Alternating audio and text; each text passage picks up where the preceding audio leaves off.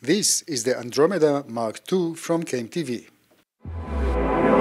This is a CineD Gear News video supported by B&H and CVP.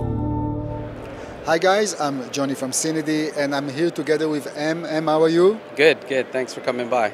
Thank you for inviting. And you're actually representing CAME-TV and you have a new light. This is actually the Andromeda Mark II. did I pronounce it right? Yeah, the Andromeda Mark II. Oh man, I guess you have to be American in order to pronounce it correctly. Anyway, so let's talk a, a little bit about what was the Mark I and what is the improvement in the Mark II. So the Mark I was a tube light. It had removable barn doors, but it had a cord that came out of the light to a control box, and the control box is where you would mount a battery, something like a Sony, um, and that's where you control the, the lights. On the new version, what they've done is they have internal batteries. This can run up to three hours on a two foot or three foot version. The four foot version, probably about two hours. Uh, so it's a rechargeable battery internally. They've also added the controls on the back of the light here. Um, and it's still controlled wirelessly, which you can use an optional optional remote or iOS um, application. You could still power this over D-Tap if you want to run it longer, so not run on the internal batteries.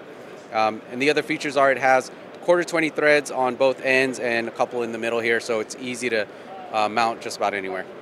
And how do you control this light? Is it only with those buttons or there is a certain app to control it?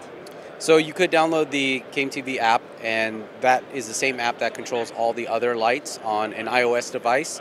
Um, or you can get the controller here. This controller can um, control several groups of lights and almost an infinite amount of lights. Uh, so you can use this as well the market is becoming rather saturated with a lot of tube, light, uh, tube lights like this one. What is the main advantage that you see? And I know that you're also a filmmaker. When you're on the field, why would you use it? What, what is the like best test uh, case scenario for such a light? Um, I haven't looked at the other lights, but originally when tube lights came out, they didn't have the barn doors, they didn't have mounting points, they didn't have the dimmers built in. They didn't run on um, DC power, they ran on AC. There was a lot of uh, disadvantages to original tube lights. I'm not sure what they're doing now, but CAME-TV was the first to add removable barn doors so you could use it as a tube light or you could flag it. They also had the mounting points built in. So they they have been doing this uh, since the Mark One, and so those were the advantages. And uh, today, I'm not sure what people are doing, but they kind of kept the same form factor. Um, they just integrated it better with the built-in battery and the controls. Can you control several of those LED lights with the app or with the controller?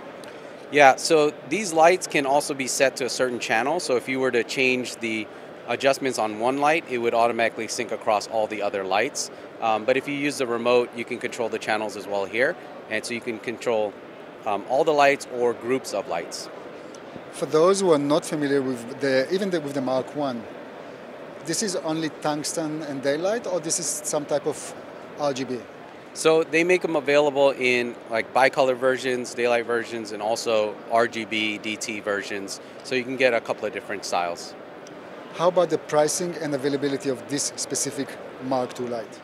Unfortunately, they don't have the pricing just yet. This is still prototype as well, so I think they're trying to figure out the manufacturing costs to all the pieces, and then they'll get final pricing, which they say could be available in the next month. One more question, as far as uh, because that's for my curiosity are there any magnets here? Sorry, are there any magnets here? Can you kind of literally hook it somewhere? Yeah, so there are magnets on the um, back end here and also over here. So if you can find a place to mount it, you could do that. M, anything that I forgot regarding this specific new light? Anything that you would like to add? No, I think we covered everything. Um, they do show it here, kind of set up with uh, four in a row, sort of like a bank. Um, so you can use them that way as well. Um, but yeah, they're pretty straightforward lights, but I think the great thing is they're just compact, easy to travel with if you just need to throw accent lighting or, you know, even use it as a key or a fill. And as we know, CAME-TV usually do very affordable stuff. So it's, I'm sure it will be very nice and appealing for a lot of filmmakers who would like to explore their way with new type of lightings. Good, Em, thank you very much. It was always a pleasure. I mean, actually, I think we met many years ago yeah, it's been a while. It's been a while, yeah. So it's nice to see you again. Yeah, thanks for coming by. Thank you very much. Guys, thank you very much for watching, and please don't forget to subscribe to our YouTube channel. But much more is to come from the NAB 2022 show floor. Thank you, guys.